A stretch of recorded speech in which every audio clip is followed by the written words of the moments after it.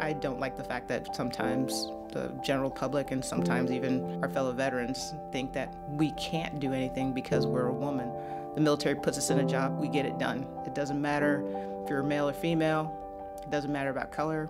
If the bullet doesn't care what sex or gender you are, then I don't know why anyone else should. My name is Tracey. I served from 1991 to 2003.